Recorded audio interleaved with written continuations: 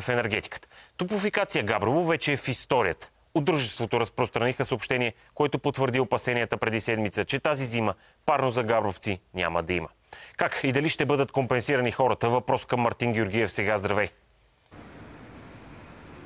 Здравей, тази смърт на топлофикация Гаврово може би беше предизвестена преди седмица, след като стана ясно на спешна среща в ресорните министерства, отговарящи за този проблем и представители на община Гаврово, че топлофикация ще спре. И спря с вчерашна дата, едно писмо, уведомление, по-точно беше пуснато от това дружество, с което се казва, че тази зима топло за габровци няма да има. 4000 души и немалко институции са напарно. Какво правите? Община Габрово, също не знам дали към вас въобще. Този въпрос кметът на Габрово при нас, но все пак трябва нещо да направите. И вие първо подадохте сигнал, че това дружество ще си отиде. А, какво се случва от тук нататък, от днес нататък? Всъщност това, което се случи сега е функция на 7 години битка на гавровци с топофикация с една единствена цел. Гавровци да имат регулярна и качествена и екологосъобразна услуга, която всъщност те заслужават.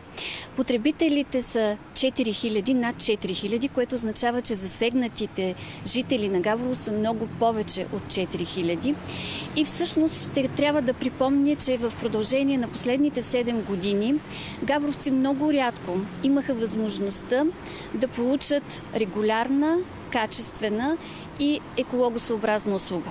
Защото още от зимата на 2016 ние трябваше да излезем по улиците, за да настояваме тази услуга наистина да бъде адекватна. За съжаление, през тези години това, което получавахме е липса на такава услуга. Често пъти замърсен въздух, сажди, които покриват кварталите в различни части на града, липса на достатъчно ремонти или по-скоро липса на сериозни ремонти, които да подобрят състоянието на мрежата и респективно недобра комуникация. И сега някакъв механизъм има ли? Казаха ли от Министерството на економиката, на енергетиката какво да правите? Как ще тези хора ще ги компенсират? Трябва да си купят климатици. Как да извади един пенсионер 2000 лева за климата? Така е. Последната зима бих искала да припомня, че всъщност хората почти не получиха нормална услуга, което сякаш доведе до отсещане и по-скоро до предприемане на действия от страна на държавата, които направиха така, че сякаш топофикация най-сетне си призна, че не желаят да предоставят тази услуга. Какво следва от тук нататък? Вие правилно казахте, че на 15 август направихме спешна среща и пресконференция с министрите на енергетиката, на околната среда и на финансите, с която заявихме, че има проблем, който трябва да бъде адресиран по най-правилен начин. Да, да, има идва 30 август. Какво става? За ли там? Този етап, това беше първа кръчка, която на този етап даде заявка, че държавата има намерение да подкрепи потърпевшите, да ги подкрепи с нещо, което наистина е много малко спрямо това, което те заслужават. И все пак тази мярка очакваме държавата наистина да я даде като информация, за да можем наистина да дадем правилна и точна информация на гражданите какво от тук насетне те ще получат и какво от тук насетне те ще трябва да направят, за да могат да посрещнат зимата. Защото гражданите питат кмета. Кмета за тях е човека, който трябва да им даде отговор. Но в случая кмета ли трябва да даде отговор? А, това, че кмета винаги е отговорен, мисля, че е съвсем правилно. Ето защо ние ще изпратим, т.е. кмета и община Габрово ще изпратят още днес писма на всички институции, които имат отношение към този казус, с настояване механизмът, който те обещаха да бъде предоставен, за да може ние да го сведем до знанието на гражданите. Ние никога не сме се крили от проблемите. Ние винаги сме... Последен въпрос, наистина, много е важно. Детска градина, детски градини на топлофикация, как ще стоплят зимата? Това е от изключително така проблемен въпрос.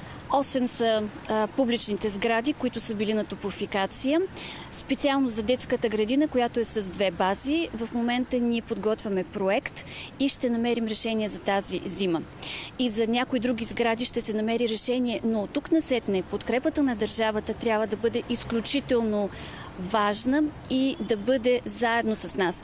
Така че ние ще настояме за това. Не само за кратката форма, в която те ще предоставят подкрепа, но и за тези малко по-дългосрочни и по-ключово важни решения, които ще трябва да се случат в Габрово. Габрово може да бъде един добър старт на политика в сферата на енергийната ефективност, която да бъде наистина различна и добра за хората. Разбрах. Благодаря ви. Ще се спасявате както можете, защото, както виждаме, топлофикация ви остави пред е, така, голям проблем за тази зима. Чухте, е, проблемът си остава висящ. Не е ясно как, какво ще е бъдещето на сградния фонд, на активите въобще, тъй като това е част от студения резерв на, към енергетиката, как ще се компенсира всичко. Така че много, много отворени въпроси остават с това, че топлофикация Габрово обяви, че спира да работи. Мартин Георгиев, благодарим ти директно от Габрово за смъртта на топофикация Габрово. Местната управа се опитва да направи всичко възможно да спаси зимния сезон. Надяваме се да успее. Отново си иска помощта на държава.